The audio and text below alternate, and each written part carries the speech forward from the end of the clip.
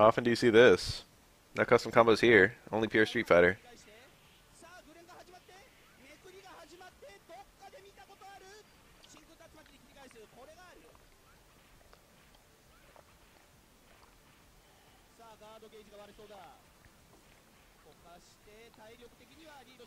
Why does that command grabber cover that fast? Oh, that does a lot of block damage. How often do you see that super? Never. I don't know how good it is. It sucked so far. Karin hasn't even done a fucking super at all.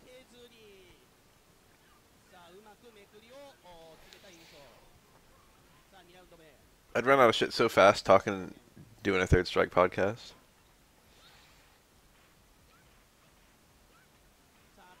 I say that, but I've been watching Third Strike. Oh, that was cool. Oh, it dropped though. Is there like, does that, was that a range thing or can you do different follow-ups in that safer?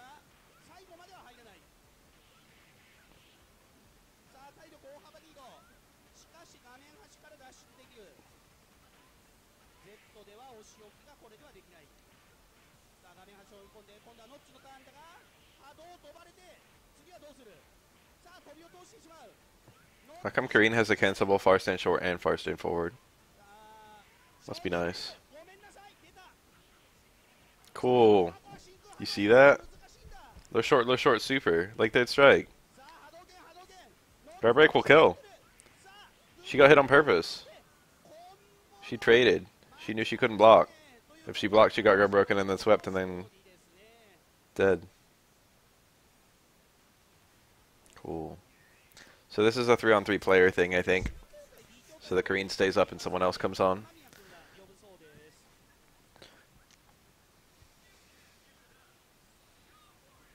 Sakura will surely be high tier in this um, format.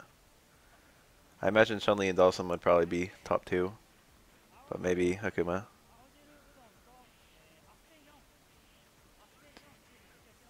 Ouch. Super? Nope.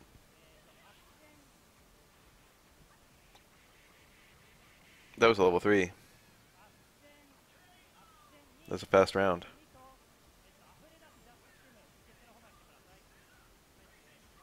Don't forget really, really long range, like safe pokes. This looks like fucking Street Fighter 5 right here. I'm seeing all the same shit.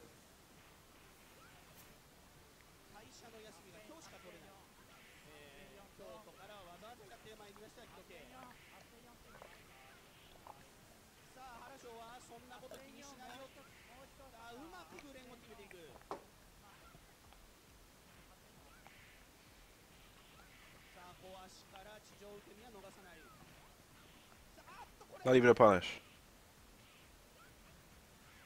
That was, I think. Oh, the fireball. That light Tatsu so low. This must be unsafe. Really? Probably not fast enough. Good lord.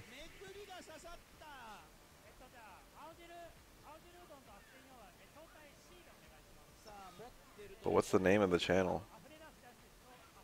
That's literally the channel I'm watching this fucking video on.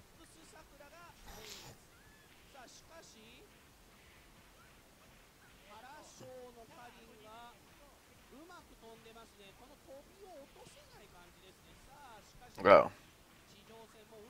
I understand.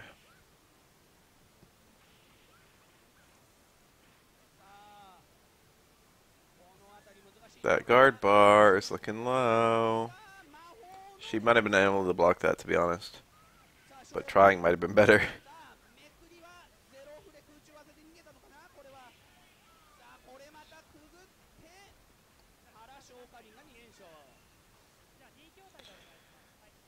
Um, if there's any game that allows for one of the characters to have a third strike parry, I like that character. No, you don't have to block before the super freeze.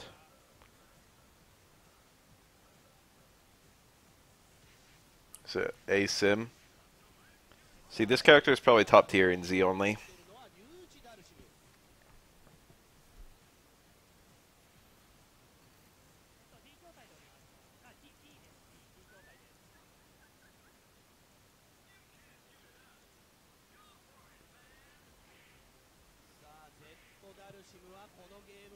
Why'd they make Yoga Flame so big in this game? Why is it so safe? Why does Awesome have no weaknesses for being able to hit you across the screen? They're grooves, basically. They changed the mechanics of the game. Like, Exism can't air block, whereas the other two can block mid-air as long as they're blocking air-to-air attacks. I think there's a difference in the way that throws are broken for Exism too, but I don't remember. Exism only has a single bar that can only use level 3 supers, and only one per character.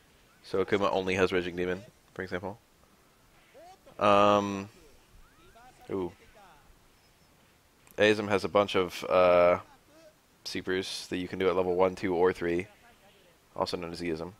But, um, uh, your damage and stun values are lower, and you can take less stun damage before you, I mean guard damage before you get guard broken. Oh look, a whole list.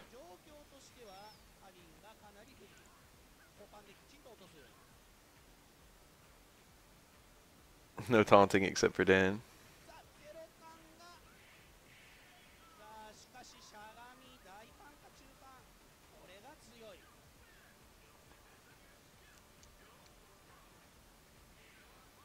Yoga fire. How we caught that tech flip. Oh yeah, now we see him. Exism is like the worst one. It's kind of mean compared to the other two. The other two are like pretty close to each other.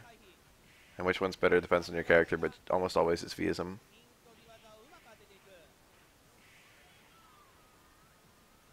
Exism does interesting things to characters though. Like Chun-Li has a new special move in Exism only.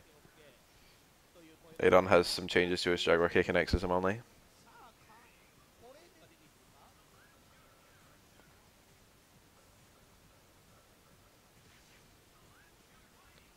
Z Sodom.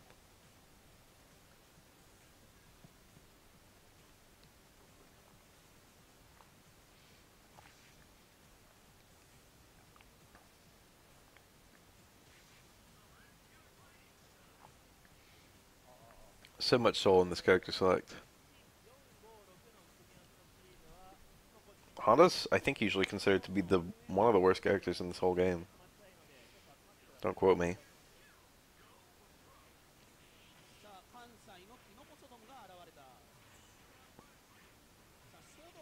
Oh, the super level one super just got beat. I think that's safe. Oh, the SPD.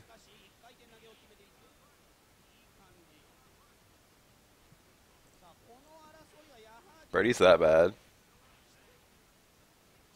I knew he was not amazing. But seeing bottom three is a bit surprising. I think both Juni and Juli have gone way up from the last time I looked, which is surprising. Well, not Juni. Juni's not surprising. All three of them went up. Cammy went up too. It used to be that Juni was considered mid, Cammy was low, and Juri was bottom. Juli, excuse me. But now I think it's more like Cammy's high, or like mid, high mid. Juni's like high mid. And Juli's just regular old low. Or maybe even mid herself. You drop them.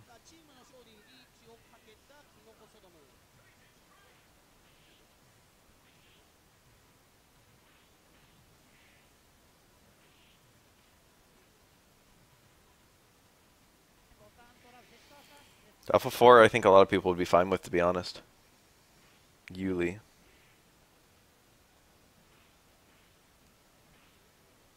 It's easy for an unfinished character to be good. Or bad. Demon Watch isn't finished, right? I think that's something they said in interviews at some point. He's not the worst character in Melee. Although I don't think he's very good in Melee. I don't know, this position. Why does he get so much damage off a jump in?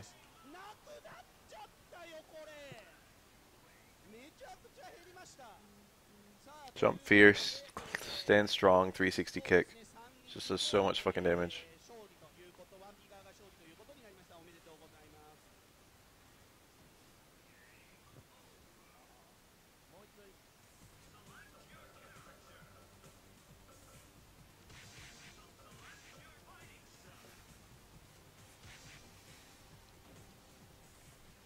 Nash.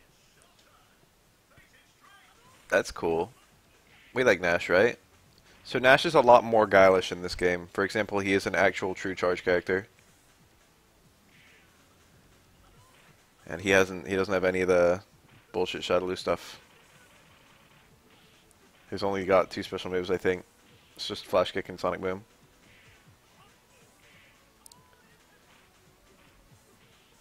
See, Nash is actually designed to be the stand-in for Guile in this game.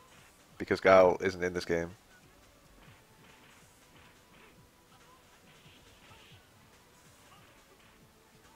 Nash is kind of hype.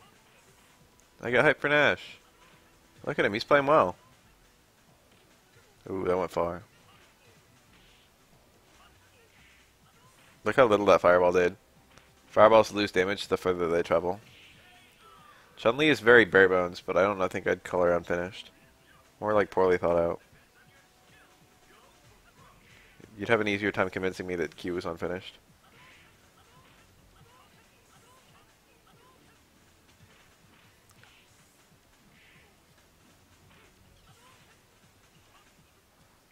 See the forward dash? That's just the only character in the whole game with a forward dash.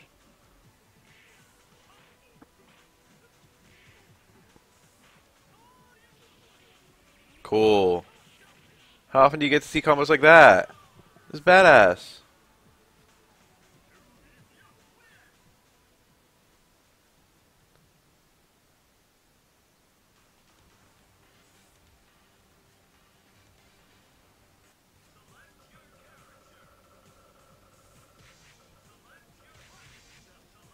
Who was it? I missed it. Akuma.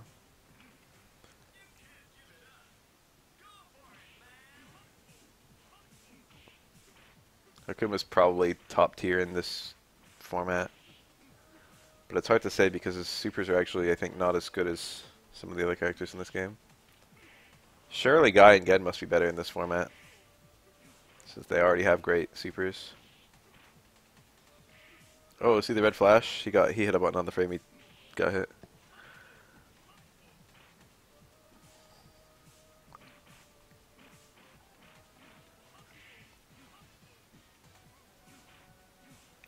Baby.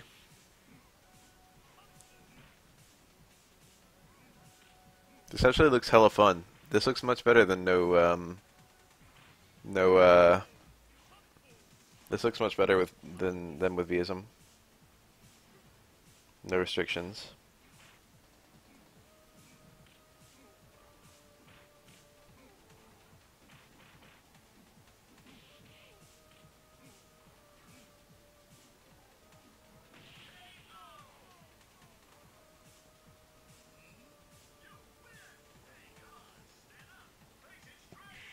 Oh my god, that trade. What was it? Flash the super, it did so much. No respect. Trading supers with normals. Level 3 super, no less. Nash could come back so easily still, I feel.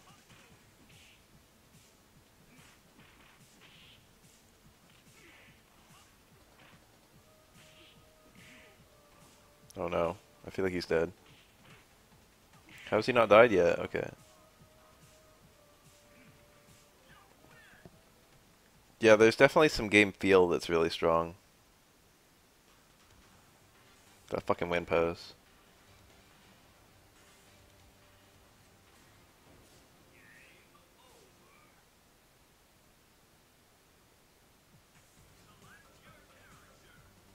Claw.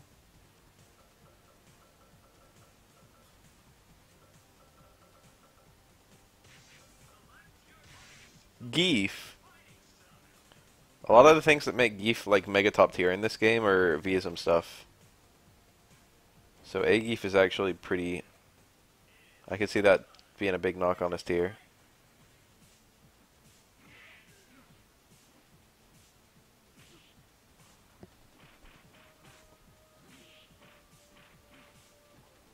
There's a blue hand in this game.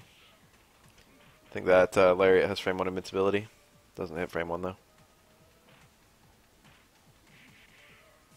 Just lost there, but lost to an uppercut. Key alpha counter to prevent the um, guard crush, but he got guard crushed anyway. Now look at that guard bar. It's looking like a big problem to be honest. Yup. Yup. He can't block anymore. If he gets guard crushed again, it's over.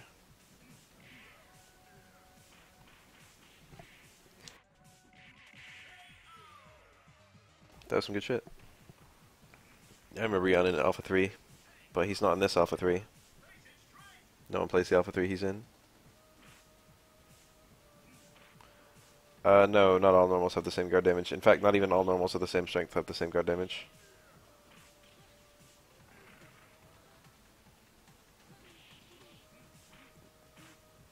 But there's not huge variance. It's usually based on strength of button and number of hits. So for example, Ryu's close roundhouse hits twice, and it's a heavy, so it does quite a lot. Oh.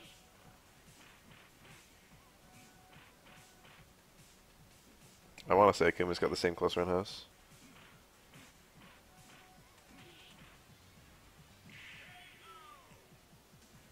Where's my anti-air demon?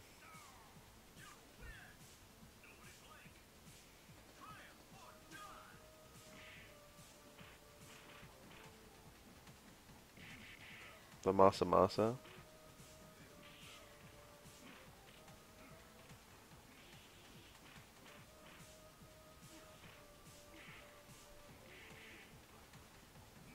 Oh my god, that was such a weird DP, and it almost worked.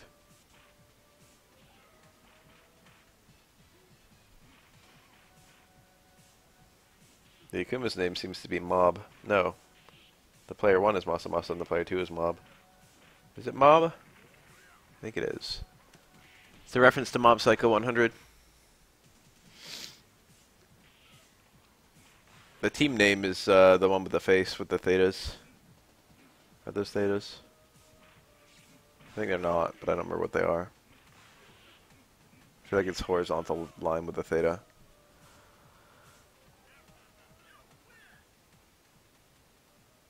Zero counter is an alpha counter.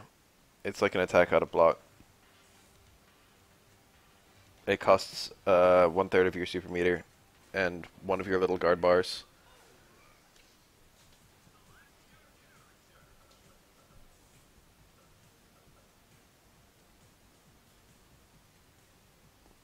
They're good because um, they can stop you from getting guard broken. But they're very expensive and they don't do very much damage. It's it's a lot worse than a V reversal.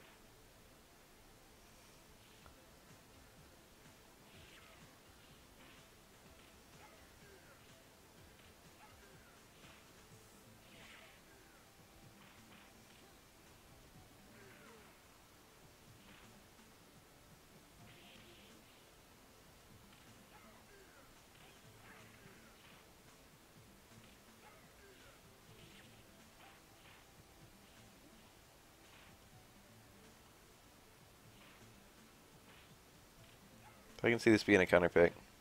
It's actually, I found it to be kind of hard to get an air throw with Vega at all in this game. I played him a little bit. Because he jumps so damn high. He jumps at a different height from all other characters. This Vega's gotten like five fucking air throws this round. Air throws a universal mechanic in this game. Literally everyone has one.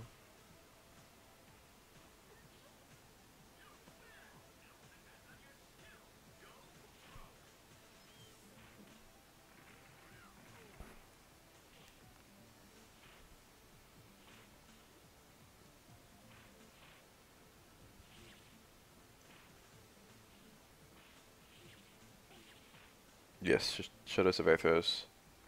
Several of the uh, Shadows have had air before. Ken had one in Street Fighter 2, I think.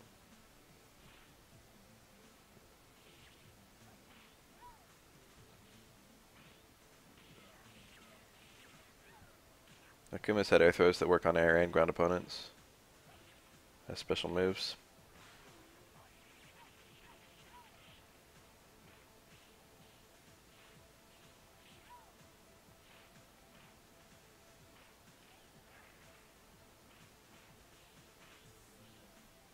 This particular game has two button throws.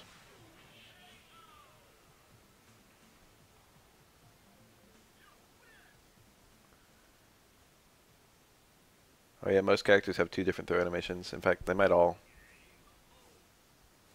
But don't quote me on that. I want to see a Geyer again. No, I don't. Those are like the least interesting characters. Was that Honda? It is.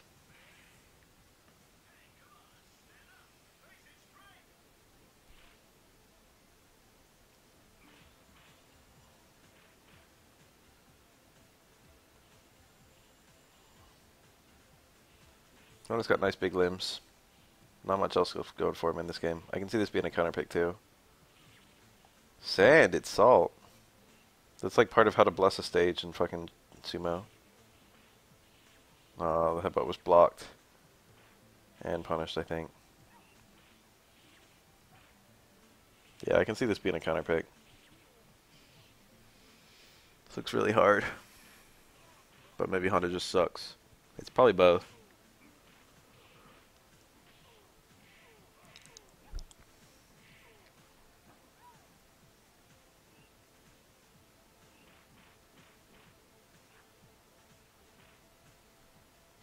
Honda's intro in SF5 has him throwing salt, actually.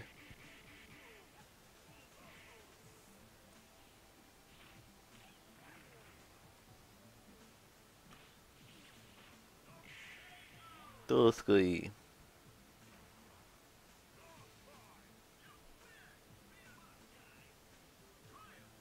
There are characters in SF3 with one, two, or three different throws. Ibuki and Elena both have a single throw animation. Whereas someone like Ken has three of them. Or Dudley.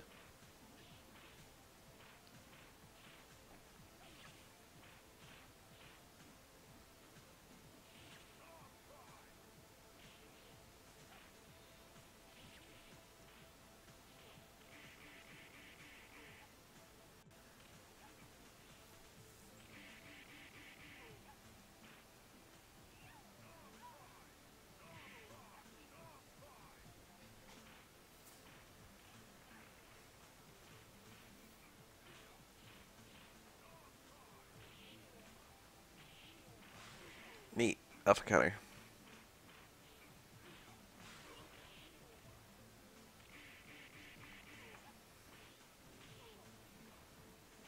Yeah, uh, in second impact you could do any throw animation in either direction.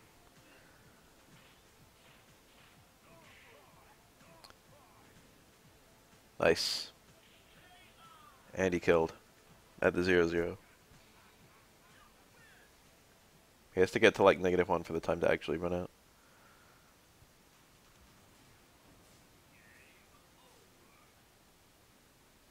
Definitely, um, Hugo's mesh though is better than most mesh throws. For the fact that you can combo out of it, and for the fact that it does more damage than most of them, and the fact that it can get more hits than most of them. But generally, I feel like most mesh throws are equally shitty. The main thing about mash shows is how long it takes to start doing the mashing hits. Or has to like climb onto your head, so the player, the opponent will get be made aware of it faster. So once the actual mashing part starts to happen, um, they're probably already mashing. It's Birdie. Birdie's normals are very similar in this game to SF5. That's his jump strong, believe it or not. But his special moves are pretty heavily changed. Nice.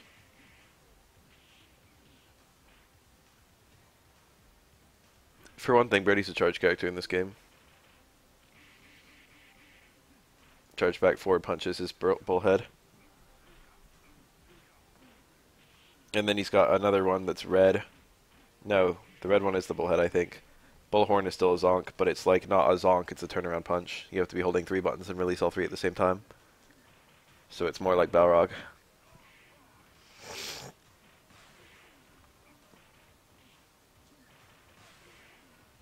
And then you've got 360 kick and 360 punch, I think. No, just 360 punch. Or is it both? I don't remember.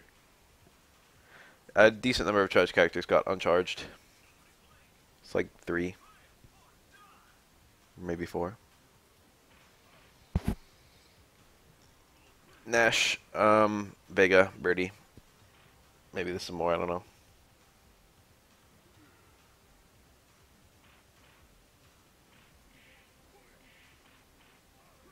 Yeah, you can react in time.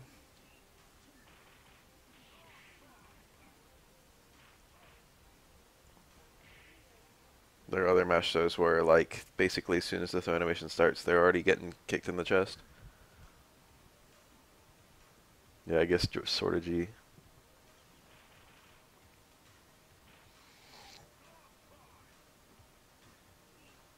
I'll have you guys know that Decapre in the game's code is a motion character.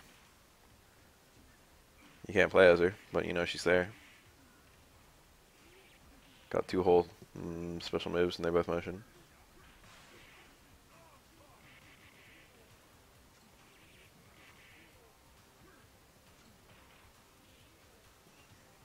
SF5's code, yeah. She's uh, NPC only. She's not playable. She's a enemy in story mode.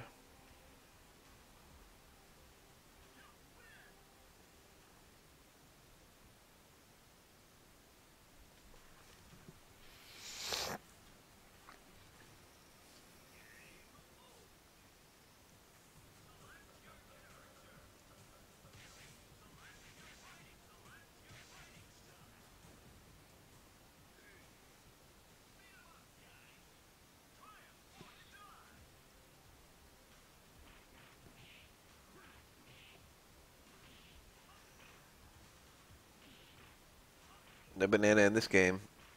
No donut. No can. No chain. Well, he uses the chain for his command grab, but he's got no quarter circle forward kick chain. It's funny because his normals are all fairly accurate. So that's the Zonk, the one that hits multiple times. The one that turns red is his uh, charge move. I called it the Zonk again, but it's a turnaround punch. Also, he's getting fucked.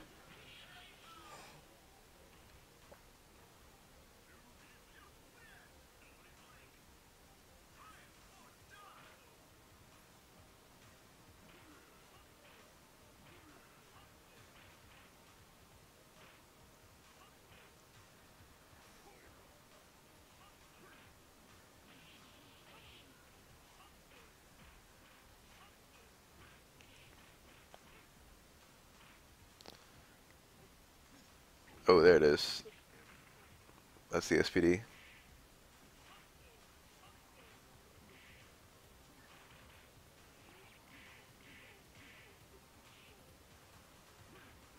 I think one of Birdie Supers has a fake dizzy animation like Mika. I think it's that one. It's like da da da, and then he pauses and taunts and then does two more. But it's like a real dizzy animation. And you can like shake out of it.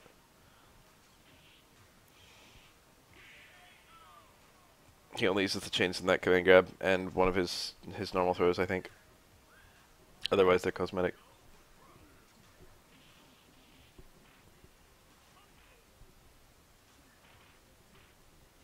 Yeah. Quarter circle forward, EX kicks, and SF5 is this game's SPD animation. It's a very nice little touch. They did that a lot in SF5. You can find that everywhere. Moves that aren't in the game, the EX move will visually look like the move. Like Ryudo and Shinshoryu with his EX uppercut. You can actually find that on just about every character. it's quite a cool. Oh, decent punish, I guess.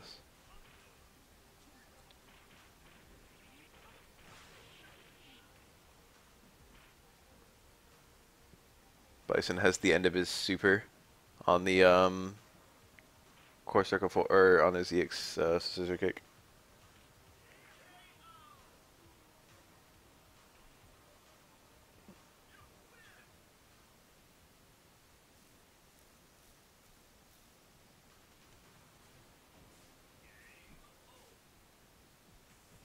Yeah, there's a lot of subtle things to animation that the game now does better than it used to. Two Nashes. Oh, classic. You see that round start?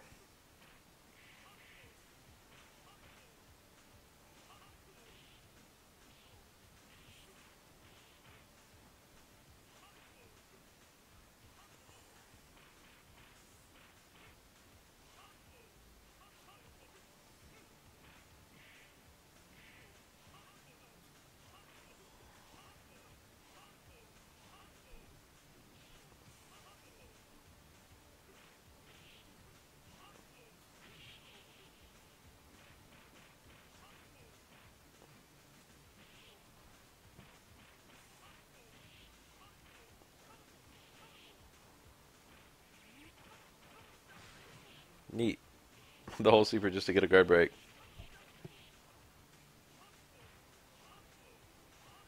See, the thing is, the a lot of people who play the games a lot hate cinematics, but a lot of people who only play the video games a little bit love them.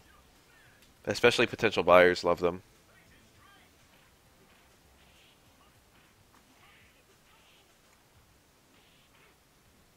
Even in SF5 era, you can find you can go on YouTube and search like all super animations, Street Fighter 5 all supers. You'll probably find a video with like millions of views for all the fucking normies. But you know,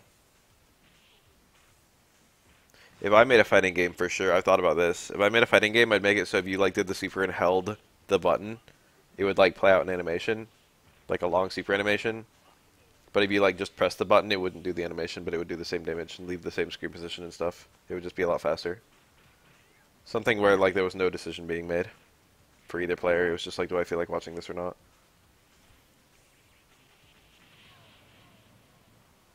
Or maybe holding the button would skip the animation. Probably that. I'd make it so they were there, but they were skippable. What SF5 does that's kind of nice is most supers have an early animation where if the early animation kills, it doesn't play out the full animation. In fact, uh, um, what's her name? Lucia has that right now. Of the three new characters. I didn't test the other two. But I know Lucia does. She's got three hits before the cinematic starts, and if one of those three hits kills, then the cinematic never starts.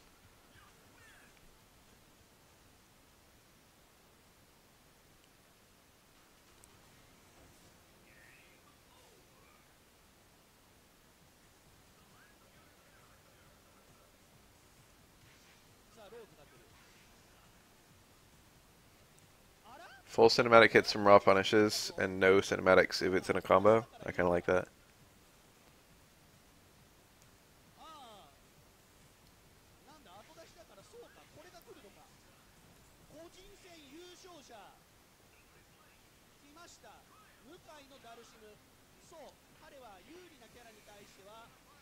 Rose is cool. Rose's theme is good.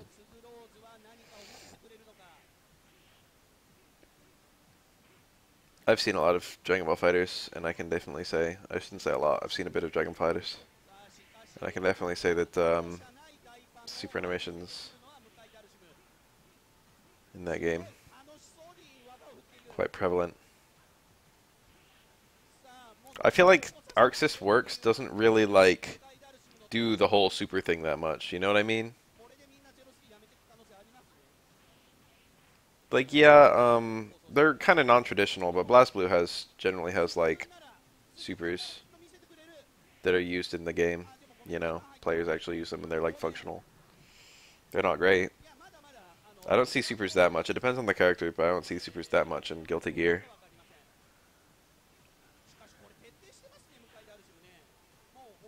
And a lot of the other stuff, like... I don't know.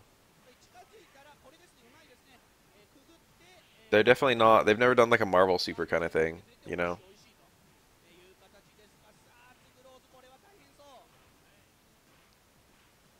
They're good in Blast with Tag, but I think it's just one per character, right?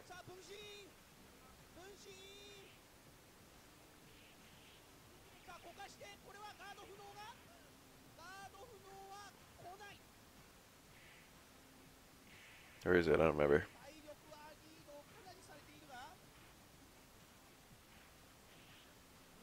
Maybe I lied. I just forgot.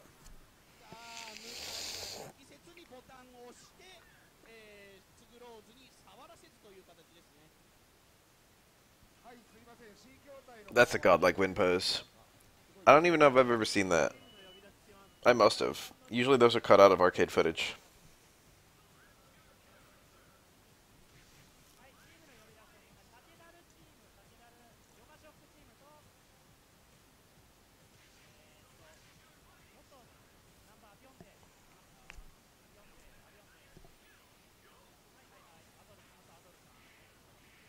Marvel always had supers just kind of hit without too much cinematic stuff, unless it's level 3, in which case there's a lot of cinematic stuff.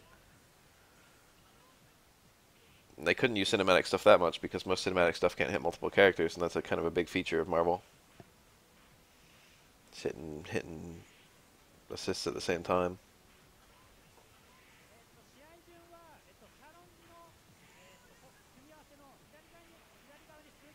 That super looks really good.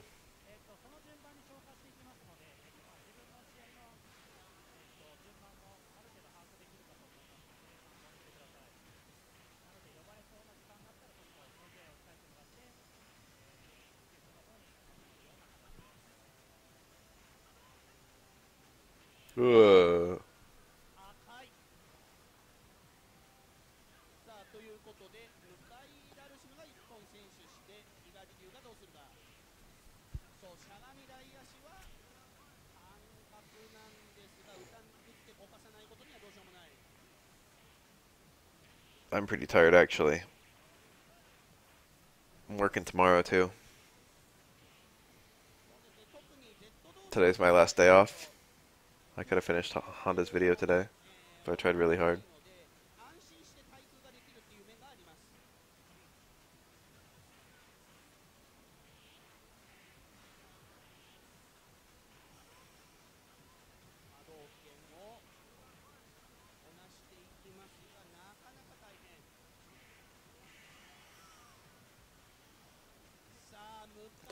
decided something was or wasn't a super based on the number of, based on the animation of the super. Supers are just a function for me.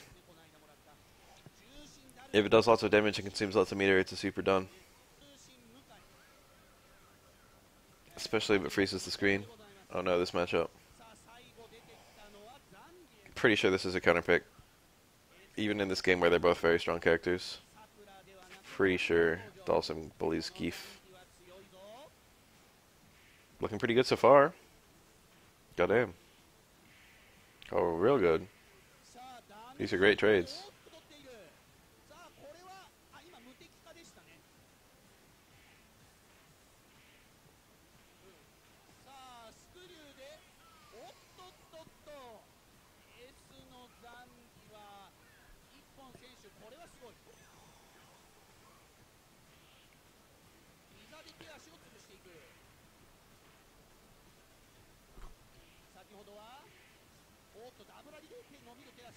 Cool, it hit properly.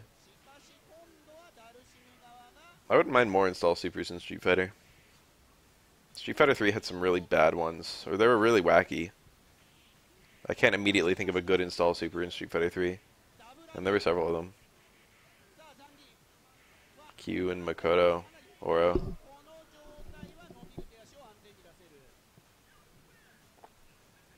I feel like it's another still somewhere. Uh, or it's got two of them. Now I think about it.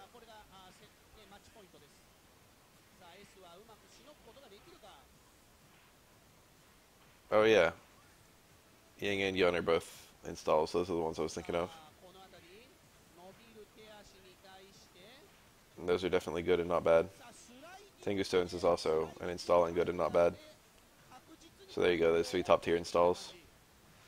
Oops, I forgot the main super of my main character. Classic.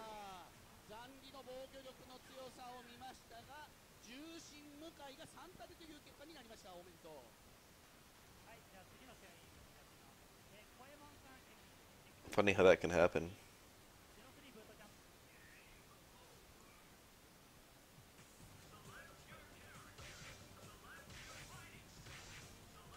Cammy? No, Green. I thought Cammy for a second. I was like, cool. I'll have you know that um, SF5 is an entire game built around uh, installs, and that made a lot of people hate it.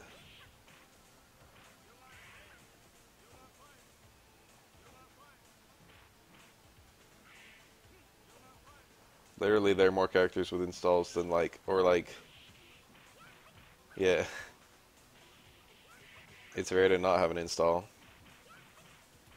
Even Vega has an install. I was trying to think of a character who doesn't have one. Vegas is pretty straightforward. Vegas is probably the least installed character in the game, isn't he?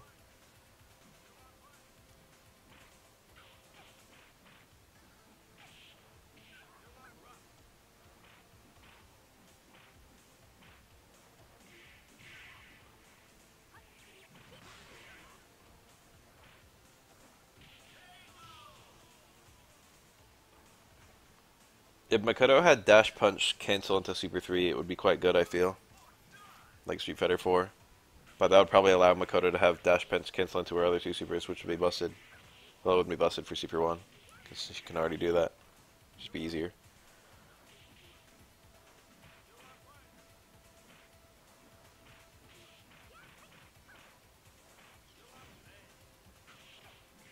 I feel like there might be one character who has two non-installed triggers, but I can't think of anyone like that.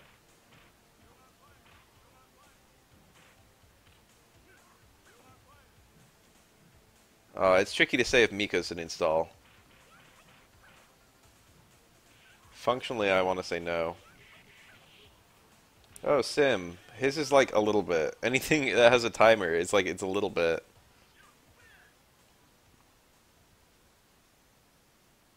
Honestly, Alex's VT2 is not too bad either.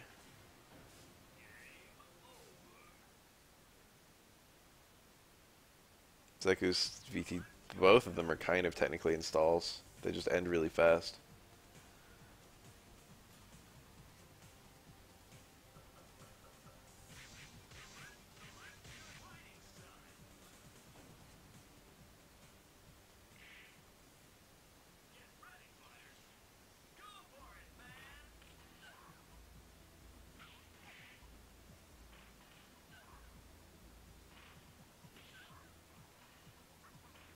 Ibuki. Ibuki and Sagat can both store second projectile. Sagat gets whole new special moves, so.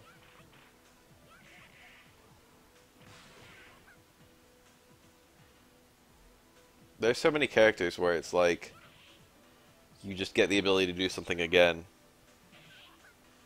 Like Zeku VT2. Ibuki's probably the closest character to a character with no install.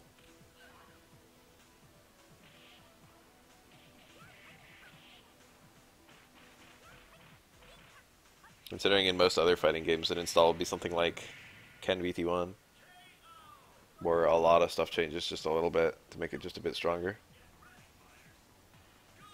Every single thing gets a little bit better instead of getting access to one new special move that goes that kills the install instantly as soon as it's used.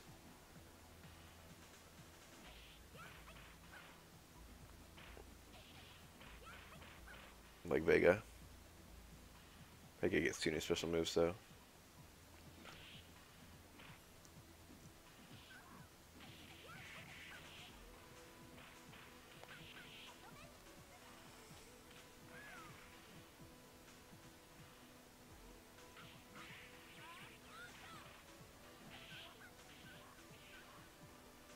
Chun-Li has a touch of stun doing that combo that he was doing, but I think he might have hit the corner too quickly.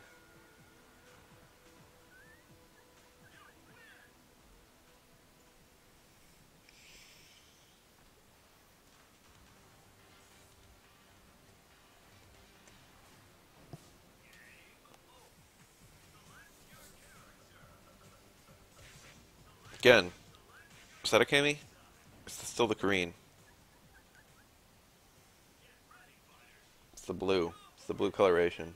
It's tripping me up.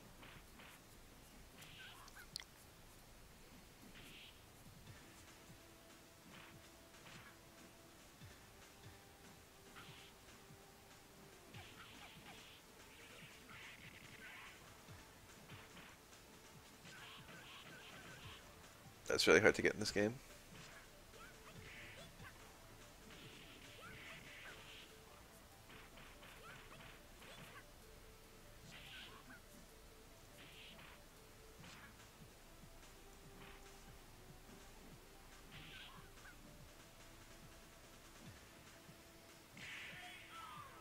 One of my friends was musing to me. No.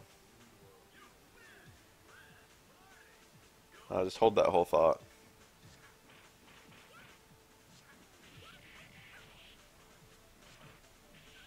No musings today.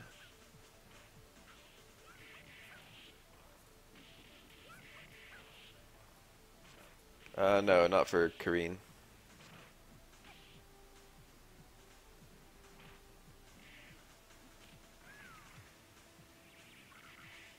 Oh, look, the timer. It does damage every time it takes down. She died before he even hit her.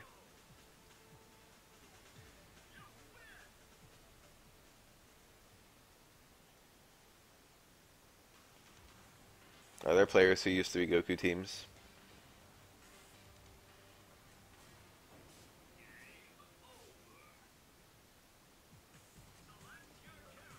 How prominent is the idea of like a canon team in Dragon Ball FighterZ? Are there people who do that?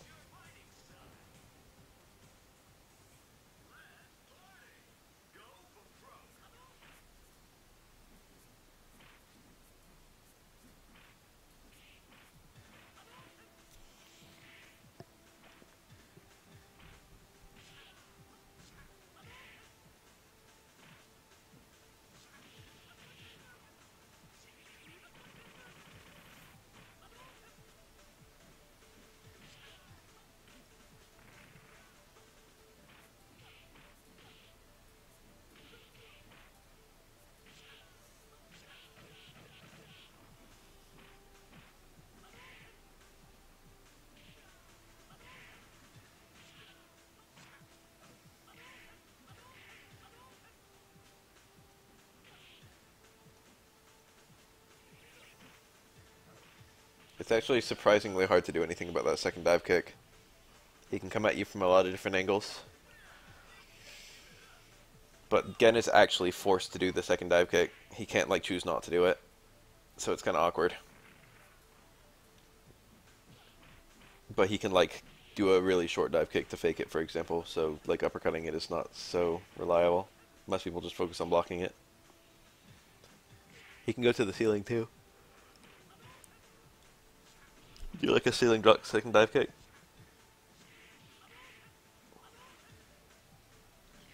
It's invincible and it's very safe. The damage is okay too. So it's not a bad super. Oh, look at this. Gonna spend the other? No. Saving it. Ken is quite cool, yes.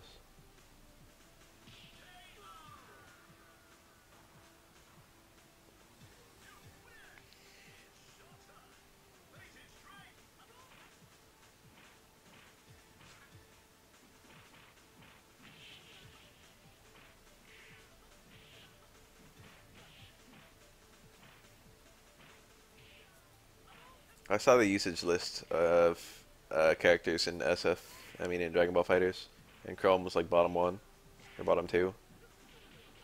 I also saw that Vegeta was almost unplayed, base Vegeta, but I think the guy who came in third was using Vegeta.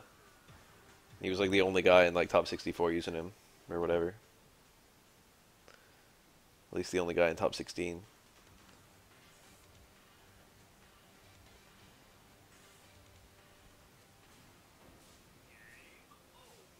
I don't know now which one it was.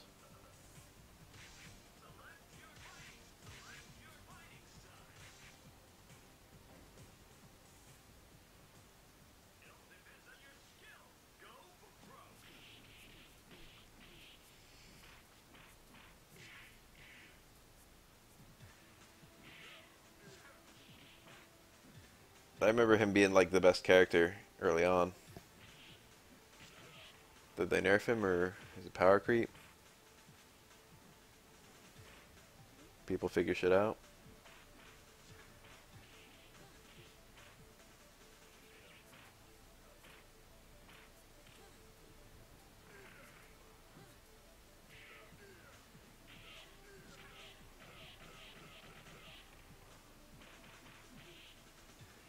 He got Tron. No idea which side that hit on for the last hit.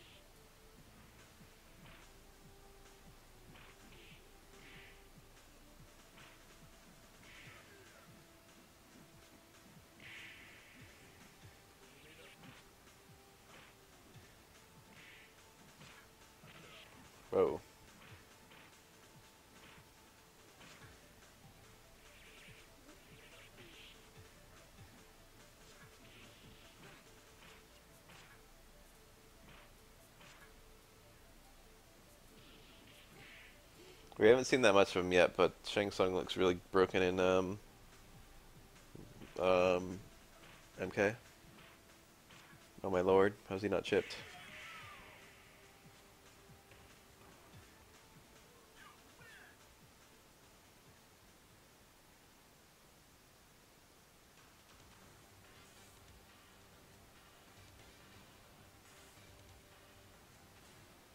I love Shang Tsung as a character, and I love his voice and his design in this new game.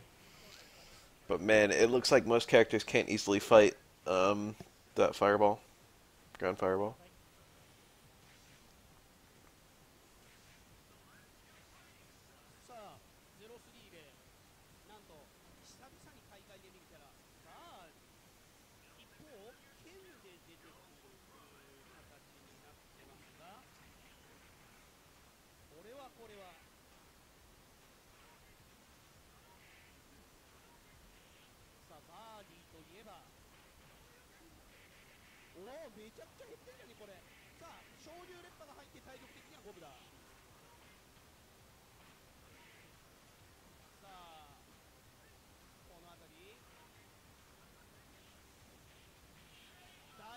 That's where reset. He was too fast.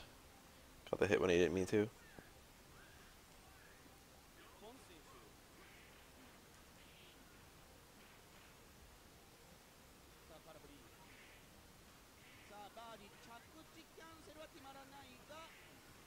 See the super high pushback on the DP, so even if it's air blocked, it's safe.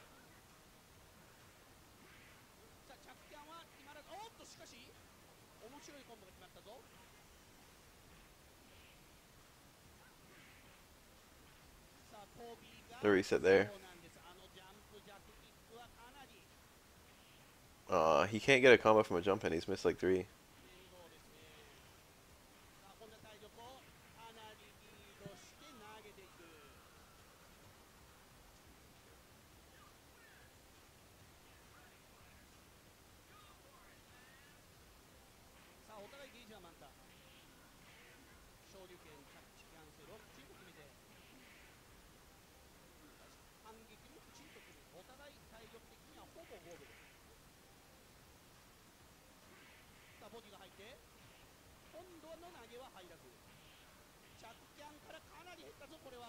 There's like a special rule when the opponent hits this wall, but I don't know what it is. That allows them to uh, makes them immune to damage from combos. I think it's once you hit the wall, you can only be juggled like one more time or something. Before you become invincible till you hit the ground. So you can get some really ridiculous mid-screen combos where it's like Chun-Li jump house times like five.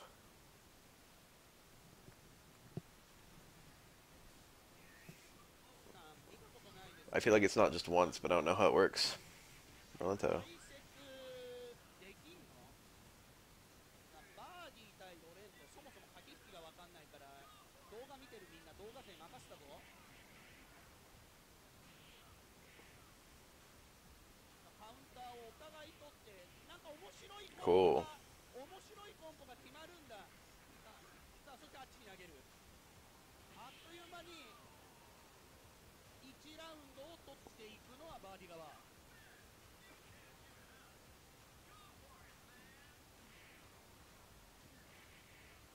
振るホーンが当たっていく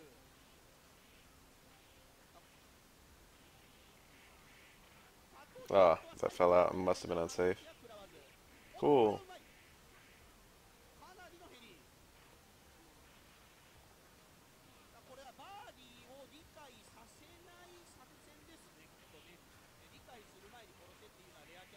That was a punish. But it said counter hit, so it wasn't.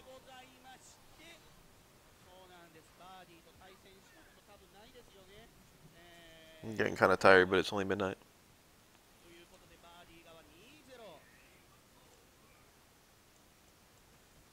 I might only watch a few more.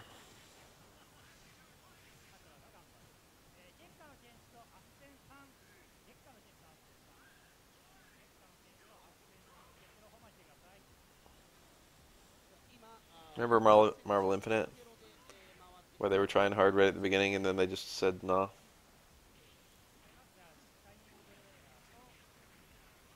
wonder if it's something about the license itself.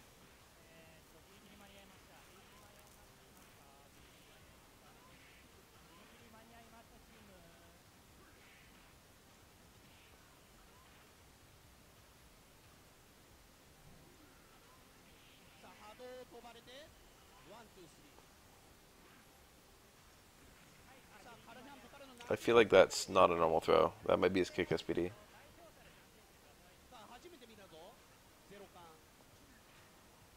had that not chip. Great Mysteries of the Universe.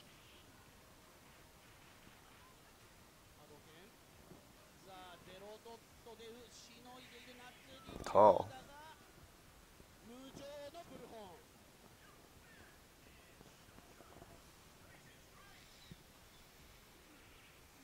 Huh, That super.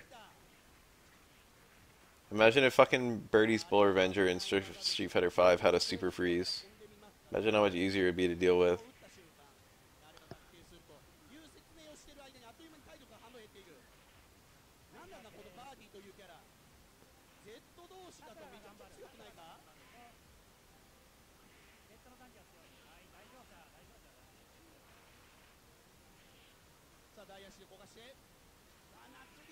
Did it again. It sucked again.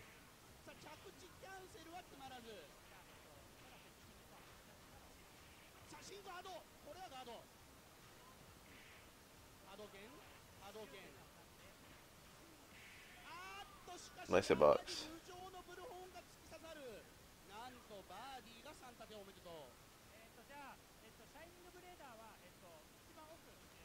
ー Birdie, huh?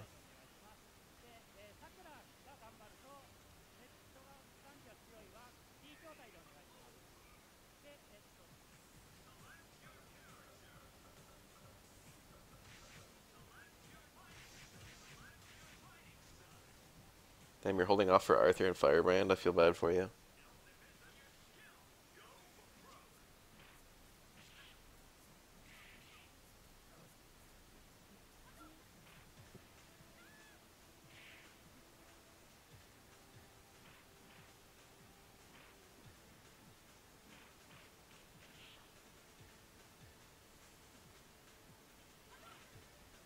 Arthur and Firebrand are cool um, functions. And they're actual, I don't know. There's a lot more variety on that Capcom IP. I don't want 20 Street Fighters.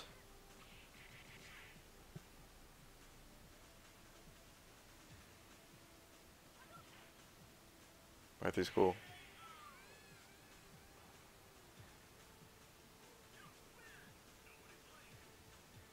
I want Son Son back. I don't care which one. I was holding on for Strider and I got him.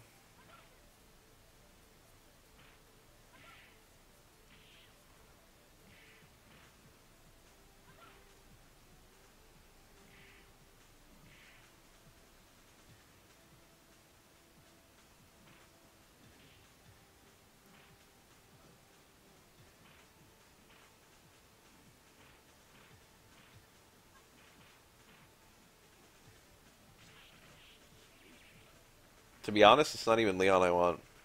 But you guys might not want to hear the Resident Evil character I want. Might upset some people. Jake Muller.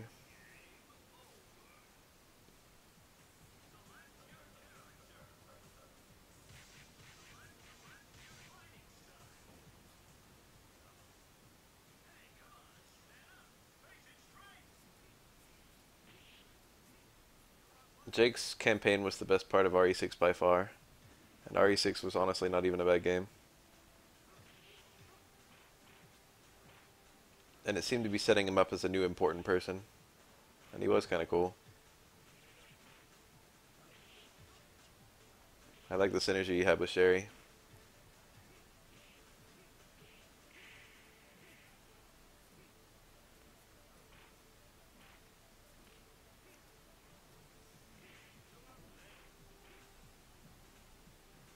Villain kids. That was cute.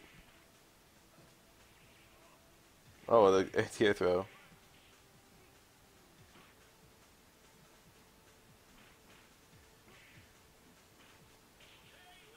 RE5 is generally.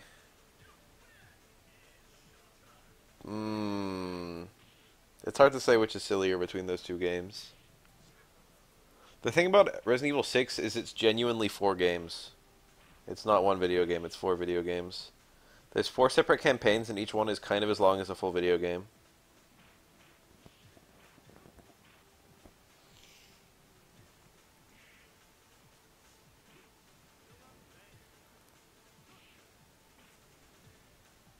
And they're all very, very different.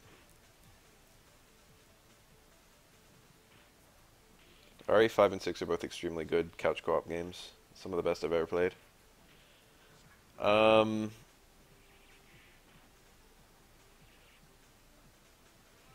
oh my god, just keep doing it. But literally, like, they're different games tonally, too. Like, there's a few scenarios where the... There's a couple bosses where the scenarios meet up, and you have, like, four players instead of two. And they do some fun things with that, because it searches for other players doing the same boss online.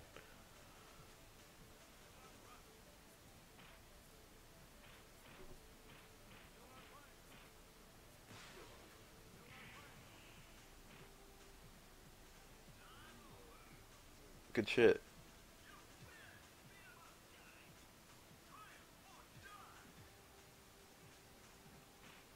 God, I was thinking recently while we were playing Dragon's Dogma that if Dragon's Dogma had um, side by side co op, or even just co op in general, it would be like my top one game. And it's a shame because the game already feels like it's fundamentally built for it, you know? Like it would take almost no changes. It's like, why the fuck?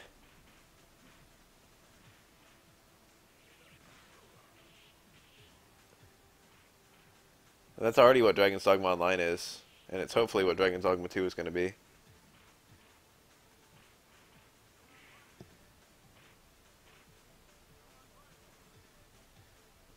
I've streamed Silent Hill 2, Homecoming Downpour, Origins, no, not Origins, um, Shattered Memories.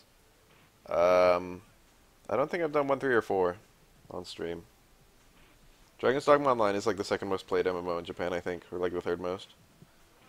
So it's probably pretty good.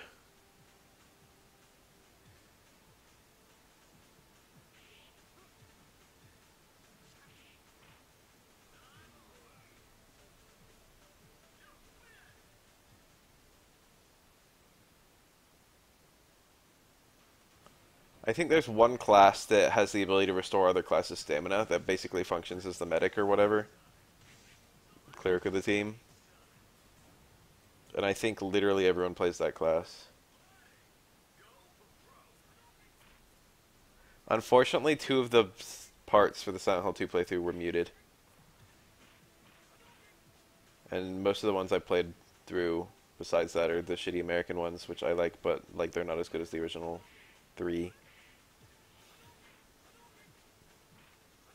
I think one is good. I think two is good. I think three is iffy, and I think four is also iffy. And I don't hate. I really hate Origins, but Shattered Memories, Homecoming, and Downpour I think are all okay.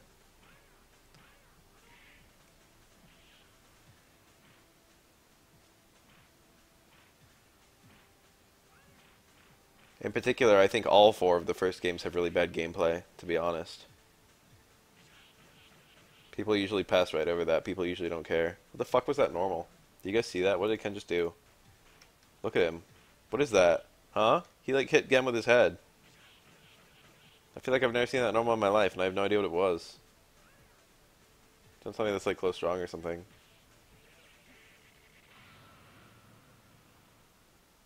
Downpour has something really silly in it. Weapons break all the time in that game, so you're constantly looking for new shit, but you can hold like two items at a time. Um, but guns never break from overuse, from like hitting enemies with them. So if you get a gun, they end up being like some of the best melee weapons in the game. Just because they never ever break. And then you can also fire them. Uh, Origins, I really, I thought the, the the gameplay had kind of the bad monot like like it, it kind of had the bad gameplay of one through four, where the combat's kind of very unfun. But the combat had an extra layer of unfun because um, the way the weapons worked, every weapon in all of Origins breaks in like three or four hits, and a lot of them break in one. They're like thrown weapons instead of like swinging weapons. So like on a single enemy, it's not uncommon to break like three weapons against them. And the inventory in that game is like infinite. You can literally just carry an infinite number of things around with you. So a really, really, really big part of gameplay in Silent Hill Origins is like just constantly picking shit up and then like cycling through items, putting shit on, and just throwing it at people. It was also generally just missing a lot of content. I think it's a decently long game. I don't remember how long. But like the butcher is just a row of a pyramid head, which we already didn't need back. Um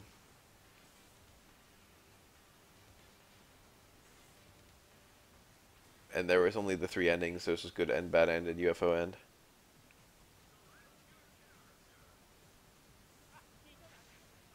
I feel like the combat being bad is like okay because it kind of encourages you to run away from enemies. But it's still really bad, no one cares.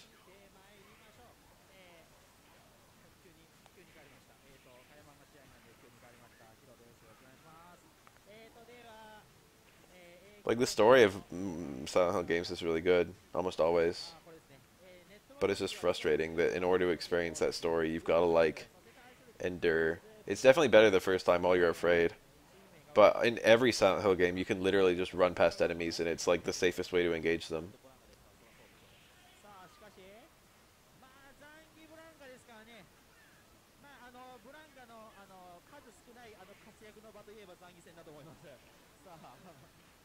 like once you realize just how little a threat the enemies pose to you in every Silent Hill. Honestly, I'm more afraid of the enemies in Shattered Memories than any other Silent Hill game, and that's pathetic. Because like that game had the worst enemies of every Silent Hill. They're all just there's only one enemy in that game.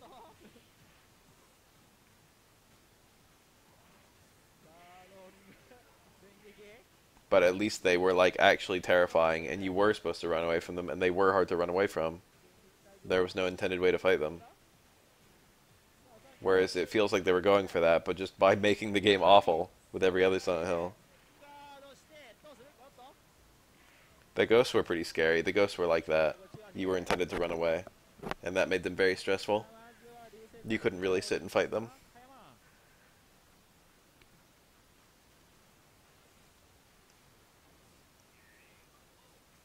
I also appreciate that the ghosts were like characters.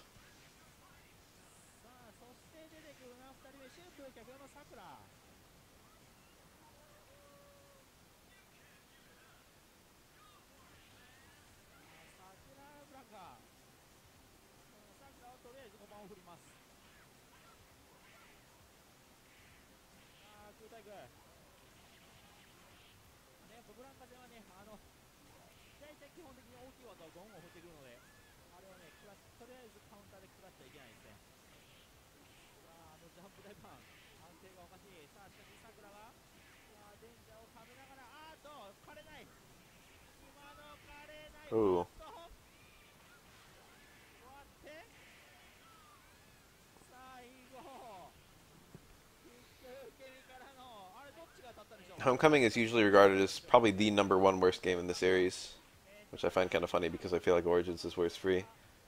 But um, uh, the combat was pretty easy in that game. There were only a few enemies that were really kind of in any way threatening to the player, but it was kind of fun because it had the dodging and it had the like you know.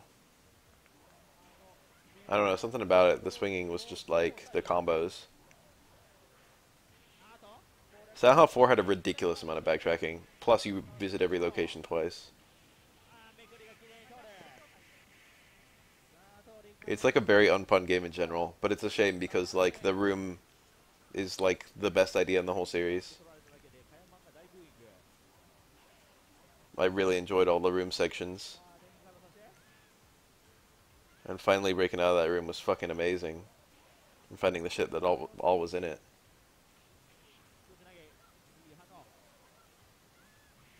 It's like combining Silent Hill 1 with like fucking an Escape the Room Flash game.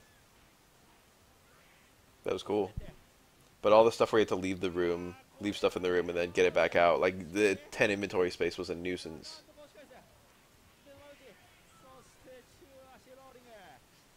No puzzle in any Silent Hill game is very interesting, to be honest.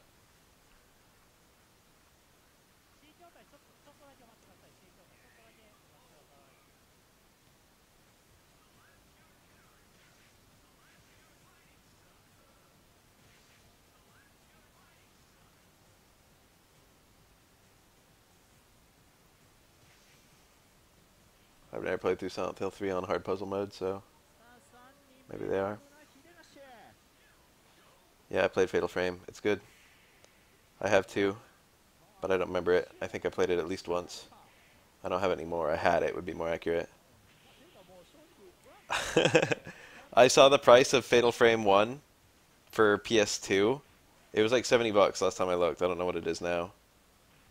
And I was like, that's a lot and then while I was searching for it on eBay, um, I happened to notice that Fatal Frame 1 on Xbox was like $10. And I was like, wow, $70 on PS2, but $10 on Xbox. And then I looked up the price of an Xbox, and they were like 30 So I bought an Xbox and the Xbox copy of the game. And I played through Fatal Frame 1 on Xbox.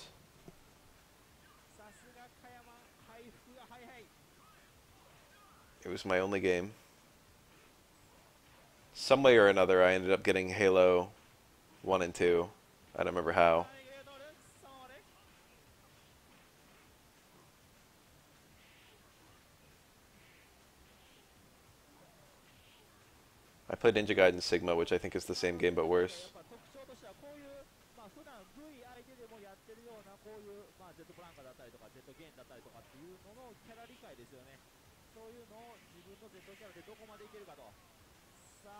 そんなお話をしてる間に坂山サンタで。す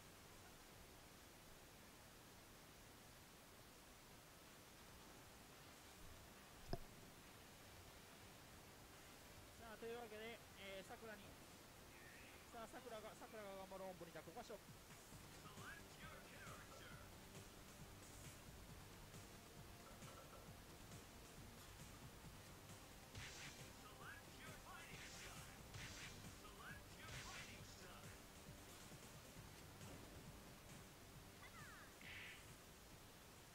He's a real Cammy, by the way. What's this guy's name? Inu. Cool. Street Fighter 5 combo there. Jump uppercut. Damn, this is how you play Cammy?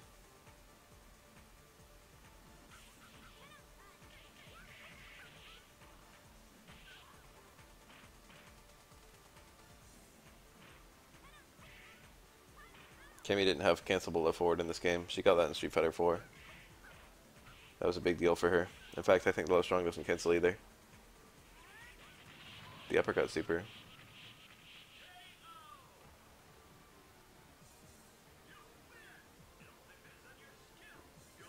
That little hair is way too big.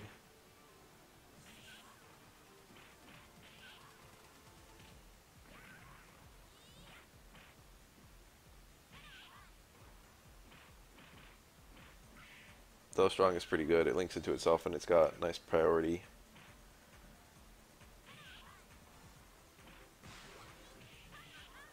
Oh, that was a low strong cancel, I think. So it does cancel. Ugh, he wanted the chip.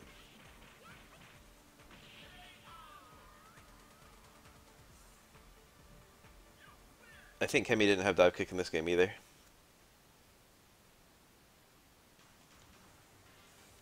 Cammy didn't really come into her own until Street Fighter 4, I'm pretty sure. That was like the game that really solidified all her tools. Every Street Fighter character has a different game where they kind of break out.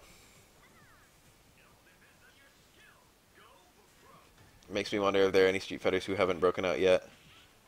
Sim's been Sim figured out what he was doing ever since Street Fighter 2. Same with like Ryu and Sagat. But you look at someone like Ken, their game plan is usually based around stuff they got in Street Fighter 3.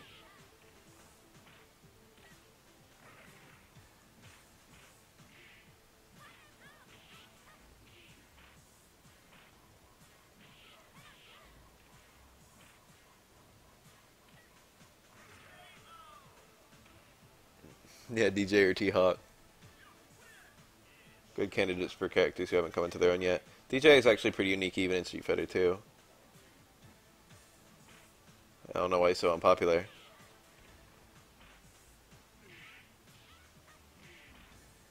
T Hawk, I think, is missing something. I don't know what. It's not all there yet, though. His pieces lack synergy. Spire is close, but it's not it yet, I don't think. The ground pound is an interesting one. Maybe it's an air dash.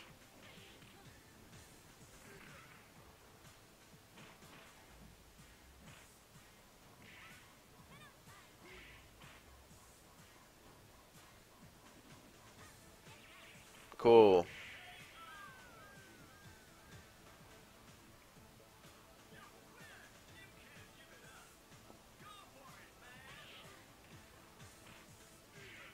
Some supers in this game are level 3 only. I'm pretty sure that hooligan combination one is. Raging Demon is, for example. There's no like way to do a level 1 Raging Demon. Dan actually has a taunt where he can do level 1, level 2, or level 3 supers. It's like a taunt super. Then he's got another one that's level 3 only.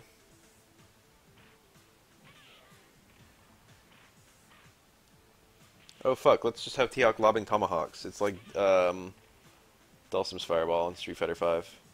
You throw them upward and they land on you.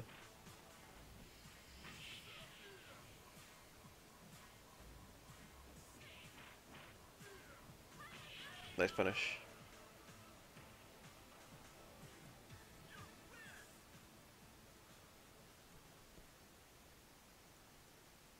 Only three minutes after this video. You go line out after this, I think. Maybe.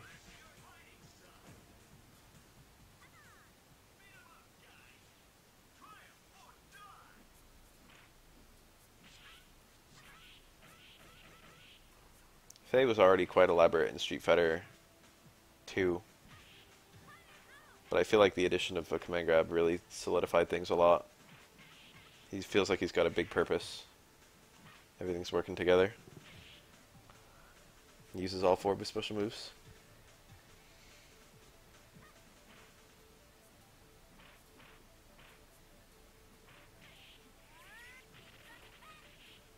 Ibuki probably got her fucking light in SF5, to be honest. I feel like there was a lot of redundancy in Street Fighter 3 and 4. In 5, it feels like everything's working together pretty well. Neat.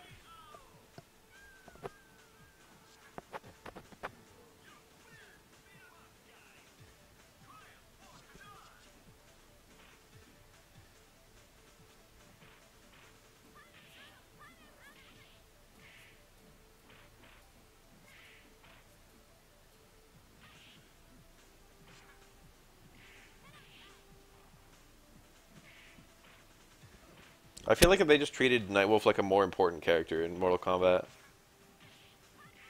that would help him a lot. I appreciate that in MK9, but I'd like it a step further. I like that they did that with Liu Kang, because I think that's something that he needed to. There are certain characters who should just be like heroes, you know?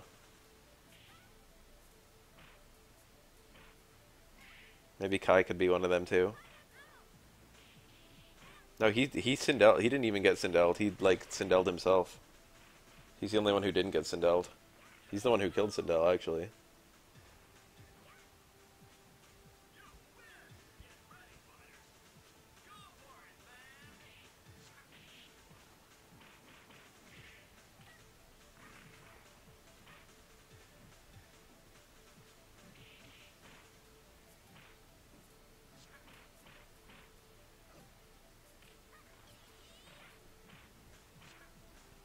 Aethers probably have like one frame startup in this game, to be honest.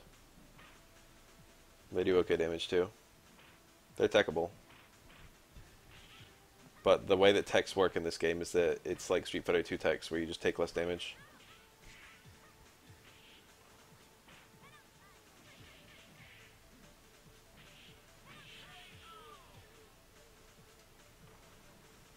Oh, it's over. It was a good watch and I'm gonna go. I'll try and get um, Honda's video out sometime tomorrow, the next day.